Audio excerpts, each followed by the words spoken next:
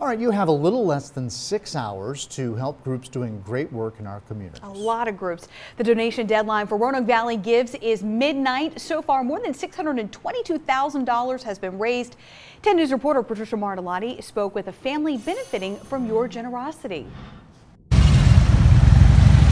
A parade of police officers ride in on their motorcycles at the Ronald McDonald House. The officers from several agencies Martinsville City Police Department, Franklin County Sheriff's Office, Martinsville Sheriff's Office came to support the Home Away from Home for families of critically ill children.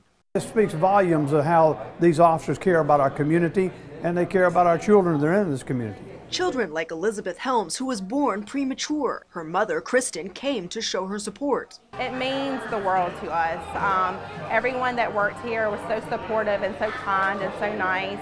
Um, it would do anything and everything that you asked that we needed. Every year, hundreds of families who live out of town turn to the Ronald McDonald House for help. For an operating budget that's over $500,000 a year, we really depend on our community's support. Wasn't the warmest thing to leave Martinsville this morning and come here, but it means that much to me to support the Ronald McDonald House. Helms says the Ronald McDonald House changed her life forever. Without the house, you know, I just, I, and without the support of this community, um, you know, I don't know that she would be here today. The Ronald McDonald House hopes to raise $10,000 by the end of the day. In Roanoke, Patricia Martellotti, 10 News, working for you.